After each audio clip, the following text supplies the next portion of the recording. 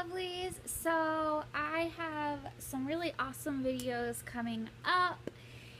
I just have to put, I have to edit the ones that I already have and I have to put makeup on and get out of my pajamas and I don't want to. So I have been awake at very odd hours. My sleeping schedule is really messed up right now. So I've been doing a lot of watching TV because I'm awake when everybody else is asleep. So Tiffy recommended Jericho. Tiffy, you and I need to have a conversation later because I'm not happy with you. So I started watching it because it's only a season or maybe like two seasons and then like seven episodes. But I was thinking that like sometimes shows know that they're gonna be canceled and then they wrap them up. No ending. Oh my gosh. Like I have no idea what happens. I've been so invested in this show and then all of a sudden it's just over. And it sucks because honestly, like I said before in my other obsessions video, if it would have come out now, it would have been such a hit. But I have to say, I kind of lost interest and stopped paying attention as much as when it got like really, really military type. Not that I don't like that, but I just was so into the characters, and I think the characters got lost. And all these other like army people came in, and I got like confused. Like, who are you? Are you part of like the army or the like people we dislike? And then they took over the town, and then the mayor. I was like, where was the mayor even? Why did he come back? And I don't know. It just seemed like it was winding down. So I wasn't like too sad to see it end because I kind of was losing interest a little bit. But I just needed that ending. But it's very interesting because um, Skeet Ulrich is in it, and the show was out in like 2006 maybe. Um, and Skeet Ulrich was like, he, I forget what show he was in. It was something like Party of Five or 90210. It wasn't 90210, but it was something like 90210. And he was like really popular. He was kind of like the Dylan of whatever other show it was.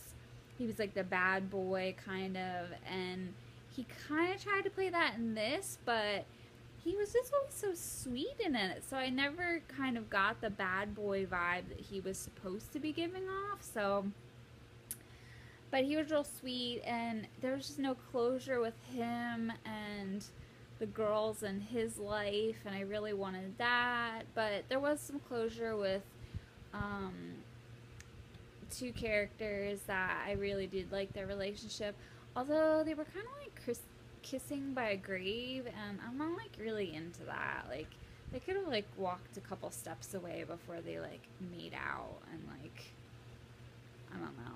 I'm just not into that kind of like kissing near a you just buried someone and then you just like start making out. But other than that, it was really good. I really liked it. A lot better than like what I've been watching lately. Um which I had an update on one of them. I feel like it was maybe the strain. Mm, was it the strain? One of the shows I've been watching that I kind of like gave a bad review is starting to get better. It's either the strain or the lottery.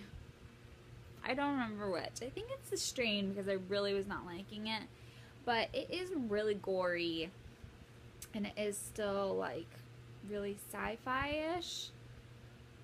I mean, people's penises fall off. Like, let's just be real. It's kind of, it's really, I don't know. I don't know how I feel about it. And this is coming from someone that, like, horror movies are my favorite thing. Like, but this is just, I, I, I like gory when it's kind of like, ha ha ha ha, that was funny. And, like, the people, the prosthetics people probably had a lot of fun doing that. But when it's like just gory to just be gory, I'm kind of like, I'm just over it. I don't like like sticky messes and like, I don't like this kind of gory. This. I like the gory that's like, whoa, that was awesome. Um, so yeah, you kind of have to like I mean, it's cool. Like, just even their little intro that says like the strain, it's pretty cool. Like, the it's like in blood and or I think it's blood, and then there's like a little thing that kind of like a sticky thing again. You're just kind of like, Bleh! and that's just the intro. So, um, but I have been watching the Knick and that freak show is freaking so good. It is very graphic. Um, it's a show 1850s, I think. That sounds really. But 1850s would like. Why did I just say that? That's like ages ago. Like that's like forever ago. I don't know when it takes place, but it's um, the early stages of when they're trying to figure out um, things like childbirth and um, just different medications. And it is so true to the era. Like, it's so cool to see it because, like, a lot of um, shows kind of like dance around it, but um, like the main character, he um, is addicted to cocaine. And like that was super normal at the time because they didn't know what cocaine was and they used it for all different sorts of things. And they show them using all sorts of different, like really taboo drugs um, for different things. And it's more when they're just starting to show, it's like an educational facility. So they're just starting to show procedures, most of which end in not so great because at the times most people died whenever they had to go under any type of surgery. Um, so it's really cool, um, very hard hitting, very difficult to watch, but super good. Uh, I think there's only three episodes out, but I'm gonna start watching um, True Detectives because I've just heard so many good things about it.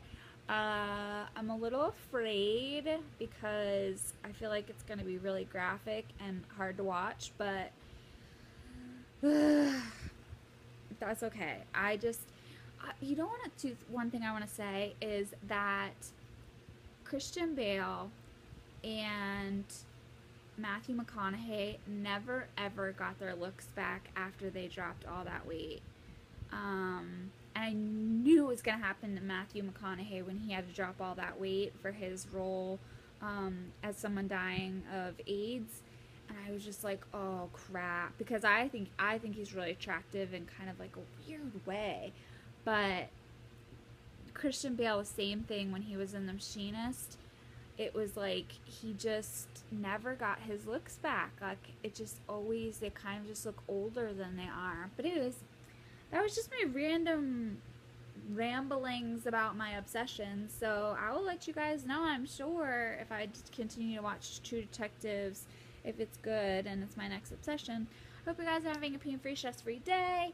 And I'm sending out X double O's. And as always, I'll talk to you guys tomorrow. Bye!